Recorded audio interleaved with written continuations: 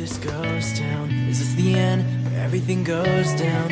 Are we gonna push through to find out? Working through all these issues, hell of a year, all the things we've been through. Are we gonna stick around to find out? We know we've seen this all before.